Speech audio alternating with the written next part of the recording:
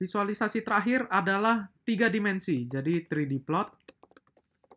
Caranya itu kita perlu import package tambahan yang namanya MPL Toolkits. Kita import mplot 3D. Oke, untuk cara pakainya, ini harus pakai stylenya matplotlib ya. Jadi kita harus siapin gambar, figure, itu plt.figure.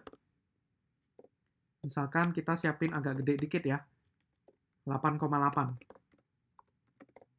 Kemudian kita harus siapin koordinatnya. Oke, jadi seperti biasa. Yang beda di sini kita tambahin projection tiga dimensi. Nah, ini yang membedakan. Ini hanya bisa dipakai kalau kita sudah import ini ya, tambahannya ini. Oke, kalau kita jalankan, coba kita lihat. Nah, jadinya kita dapat sebuah koordinat tiga dimensi. Oke, kita siapin dulu datanya.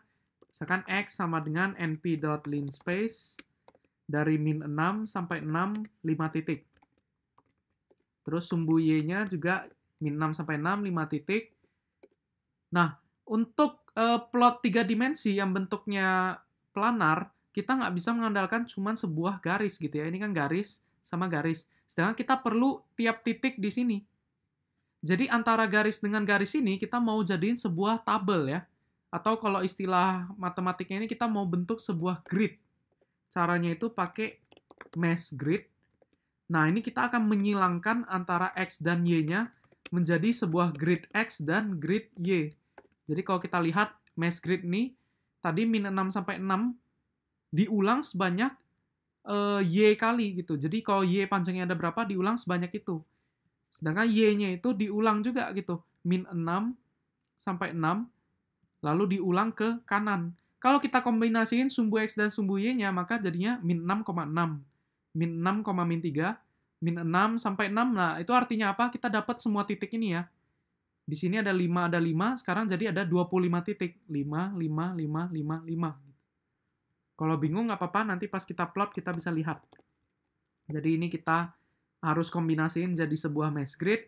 Baru sekarang Z-nya, sumbu Y-nya ini, eh sumbu Z-nya kita coba plot sebuah parabola ya. Parabola itu berarti x kuadrat tambah y kuadrat, let's say tambah 10.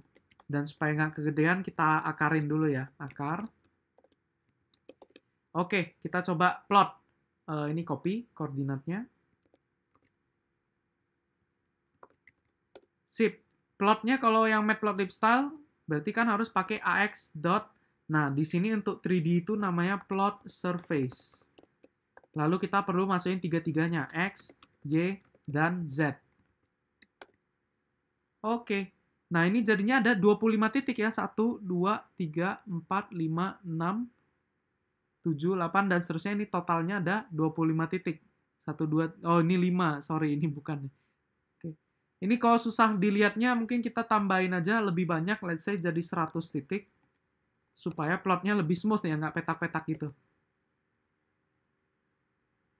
Nah, jadinya ini ada 100 kali 100 titik. Bentuknya jadinya seperti planar. Padahal sebenarnya ini juga eh, petak-petak gitu ya, tapi semakin banyak titiknya semakin kelihatan bagus gitu. Kalau kita mau hilangin garis-garisnya ini, sebenarnya kita bisa pakai anti alias sama dengan false, supaya garis-garisnya hilang. Oke, seperti itu. Kita juga bisa ganti color map ya, seperti di Matplotlib biasa. Misalkan color mapnya kita pakai winter, maka jadi yang warna biru muda itu. Oke. Oh, tapi ini agak kelihatan beda itunya. Sip. Ini kita juga bisa atur label seperti biasa, pakai set. X labelnya kita namain X, misalkan X label to X. Y label itu Y. Sama Z labelnya itu Z. Oh, Z-nya ini. Nah, jadinya ada X, Y, sama Z gitu ya. Begitu pula kita bisa atur cara pandang kita. Itu pakai view init. Yang kita bisa atur itu ketinggian, LF-nya, sama uh, kiri kanannya, azimut gitu. Contohnya, coba kita atur ketinggian dulu ya. Ketinggiannya itu misalnya 10 derajat, kita dilihat dari bawah gitu. Kalau misalnya ketinggiannya 70 derajat, 60 derajat, kita lihatnya 60 derajat, nah agak atas gitu ya. Kalau misalnya kita minus 30, Berarti kita lihatnya dari bawah gitu. Wah, seperti itu. Oke. Kita bisa atur azimutnya. Azimut tuh lihat dari kiri kanan. Kalau LF itu kan atas bawah. Azimut tuh kiri kanan, misalkan 45 derajat. Maka ini benar-benar 45 gitu ya.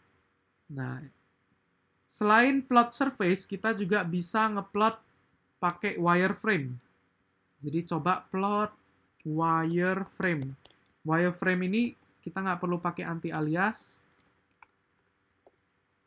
Nah, ini cuman menghasilkan uh, kawatnya ya, atau ya wire-nya itu. Jadi sama seperti ini, tapi skeletonnya. Terus kita bisa juga, contohnya kita ngeplot konturnya. Jadi pakai kontur 3D-nya gede gitu. Coba. Nah, ini kita bisa banyakin dikit konturnya, let's say 50. Nah, jadinya ada 50 kontur gitu. Oke deh, kalau bahas ngeplotting itu fiturnya itu nggak ada habisnya. Banyak banget. Semua ini bisa kita configure. Jadi, memang kalau memang perlu, baru kita lihat dokumentasi aja gitu. Uh, Wira sendiri juga nggak hafal semuanya gitu, karena ini udah terlalu banyak. Nanti kalau mau plot seperti apa, coba Google aja itu pasti udah banyak lah dokumentasinya dan banyak yang udah kasih contohnya gitu. Jadi memang kalau perlu baru kita coba cek dokumentasi. Oke, sekian untuk plotting pakai Matplotlib. Selanjutnya kita akan bahas package plotting yang lain ya, khusus untuk main-main sama data. Thank you.